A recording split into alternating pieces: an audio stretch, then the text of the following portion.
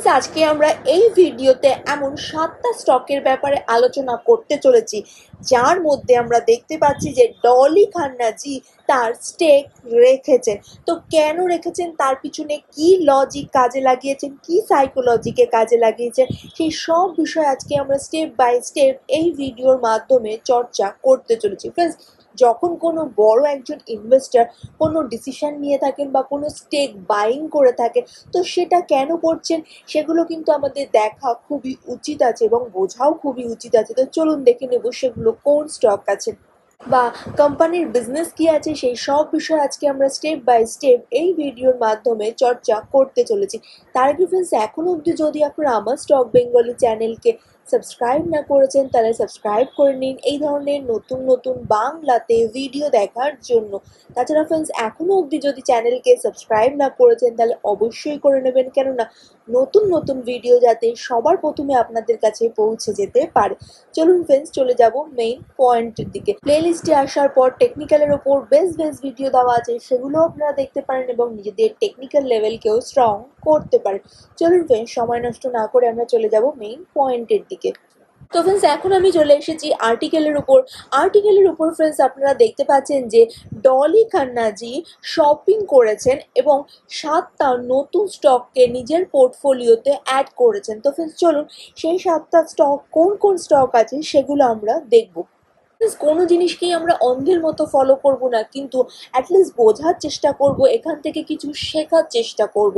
চলুন, সবার প্রথমে যেই স্টকের ব্যাপারে আলোচনা করতে চলেছি ফ্রেন্ড সেই স্টকের নাম হচ্ছে বাটারফ্লাই অ্যাপ্লায়েন্স লিমিটেড বাটারফ্লাইয়ের মধ্যে দেখতে পাওয়া যাচ্ছে যে ডলি খান্নাজি স্টেক রেখেছেন তো দেখ, তো দেখুন বাটারফ্লাই এখন ট্রেড করছে সাতশো পঁচিশ টাকার কাছাকাছি। আজকে আমরা দেখতে পাচ্ছি এর মধ্যে কারেকশন এসেছে three point three point four three পার্সেন্টের আমরা দেখতে পাচ্ছি যে এর মধ্যে অনেকটাই কারেকশন আছে তার রেফারেন্স দেখুন, এটা কিন্তু একটা স্মল ক্যাপ কোম্পানি আছে মার্কেট ক্যাপ আছে হাজার বারোশো সাতানব্বই কারোরে তাছাড়া আরোই আছে সিক্সটিন তো ডেফিনেটলি ভেরি স্ট্রং আছে। পিবি আছে সিক্স পিই আছে থার্টি সেভেন তো ডেফিনেটলি আমরা দেখতে পাচ্ছি ফান্ডামেন্টালি স্ট্রং আছে। তো কোম্পানি মেনলি কী কাজ করছে? কোম্পানি মেনলি কাজ করছে হোম অ্যাপ্লায়েন্সে হাউস হোল্ড অ্যাপ্লায়েন্সের সেক্টরে বিলং করছে।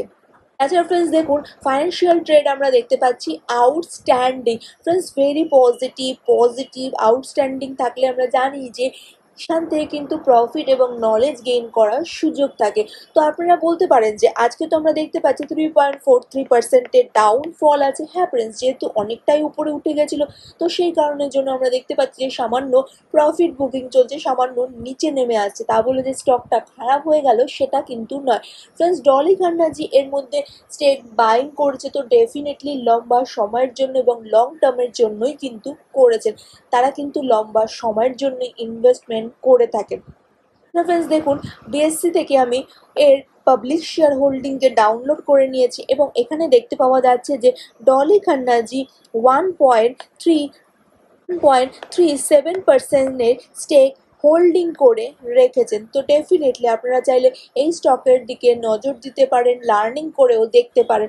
চলুন চার্টের উপর চলে যাব। তো ফ্রেন্ডস এখন আমি বাটারফ্লাই চার্ট আমি জিরোধার প্ল্যাটফর্মের উপর লাগিয়ে দিয়েছি এবং আজকে আমরা দেখতে পাচ্ছি যে এখানে দেখুন রেজিস্ট্যান্সকে টাচ করার পর অনেকটাই নিচে নেমে এসেছিল। ফ্রেন্ডস বারবার আমি এক কথা বলে থাকি, সবসময় উপরের দিকে যাবে না।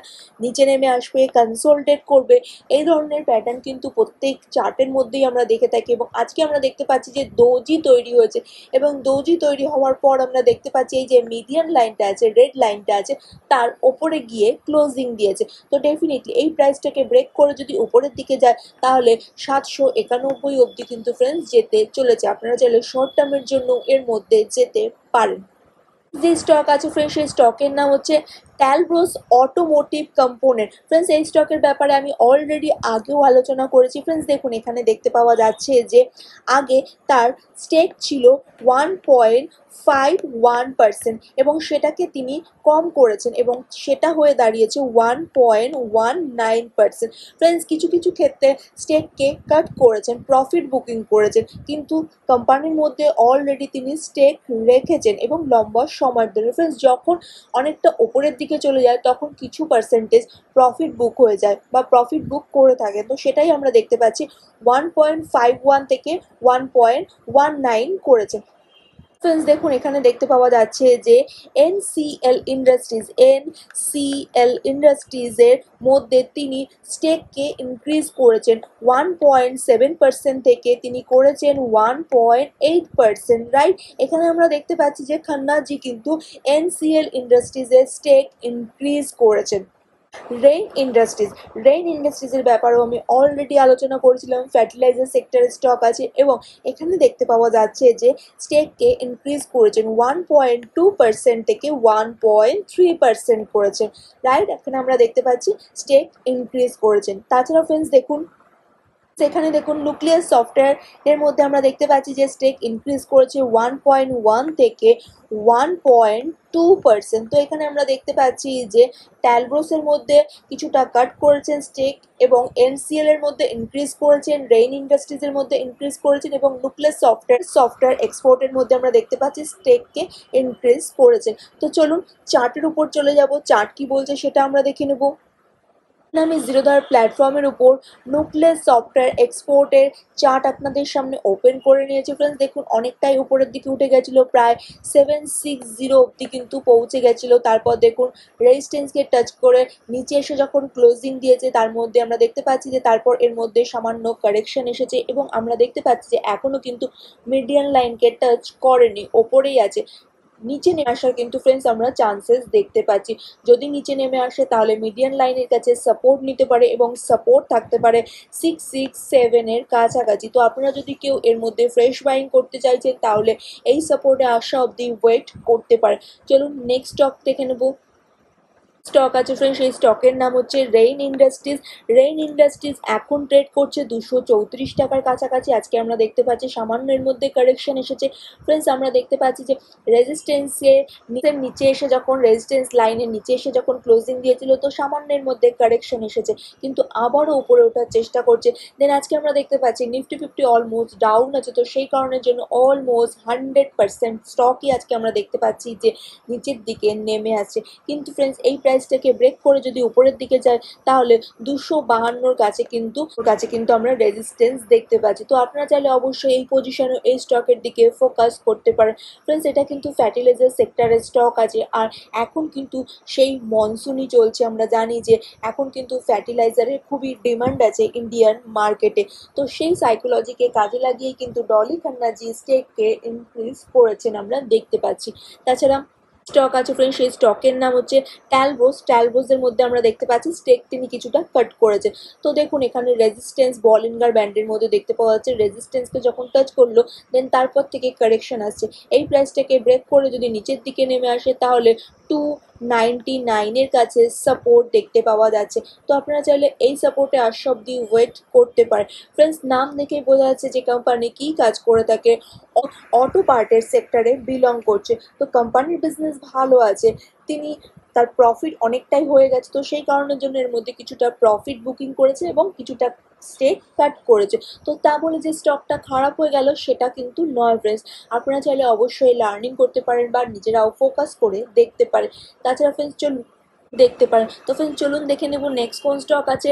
নেক্সট স্টকে যাওয়ার আগে ফ্রেন্ডস এখন অবধি যদি আপনারা আমার ভিডিও দেখছেন এবং ভিডিও যদি ভালো লাগে, তাহলে কিন্তু ফ্রেন্ডস লাইক করতে ভুলবেন না। কেননা আপনাদের লাইক খুবই ইম্পর্টেন্ট আছে। সাথে ফ্রেন্ডস সবার কাছে শেয়ারও করতে হবে, যাতে সবাই জানতে পারে যে কীভাবে বাংলাতে স্টক মার্কেট থেকে নলেজকে গেইন করা যায়। ফ্রেন্ডস আমি যখন আপনাদের জন্য এত এফেক্ট দিয়ে, এত বেস্ট বেস্ট স্টক বাছাই করে নিয়ে আসি, তো ফ্রেন্ডস আপনারাও কিন্তু শুধুমাত্র একটি কাজ করুন ভিডিওতে লাইক করুন এবং যদি পছন্দ না আসে তাহলে ডিসলাইকও করতে পারেন, তাতেও কোনো অসুবিধা নেই।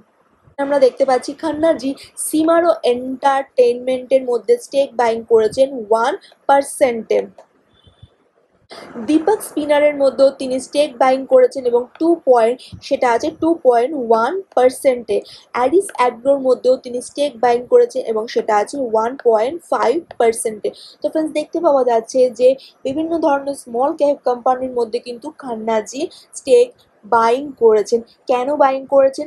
কেন যে কোম্পানি ফান্ডামেন্টালি স্ট্রং আছে এবং ফিউচারে একটা ভালো পারফরমেন্স দেখাবে? তো তো সেই সাইকোলজিকে কাজে লাগিয়ে কিন্তু এর মধ্যে তিনি কোয়ান্টিটি বায়াং করেছেন এবং লম্বা সময়ের জন্যই ডেফিনেটলি করেছে তো ফ্রেন্ডস আপনারা কী ভাবছেন এইসব স্টকের ব্যাপারে? অবশ্যই আমাকে কমেন্ট বক্সে কমেন্ট করে জানাতে পারেন। যদি ভিডিও ভালো লাগছে, তাহলে কিন্তু ফ্রেন্ডস লাইক করতে ভুলবেন না। চলুন, দেখা হবে আরও একটা নতুন ভিডিওর সাথে। লাস্ট অব দি ভিডিওটা দেখার জন্য অসংখ্য ধন্যবাদ।